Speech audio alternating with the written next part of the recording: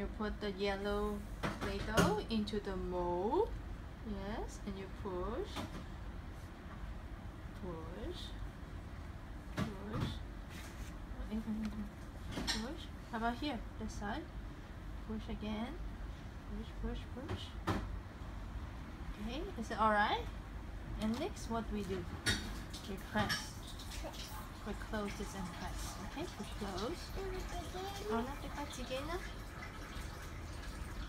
And press.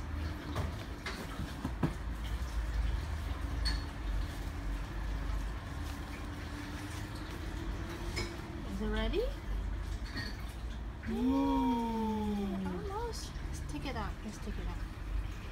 Let's get this out. Yay! It's a waffle. We're going to make the waffle. A black cone. Okay. When you make it black cone, Okay. push it. Let me press it again, okay? Let me press. One more time. Okay. you remove the extra Play-Doh. And you open this. One, two, three. Open it.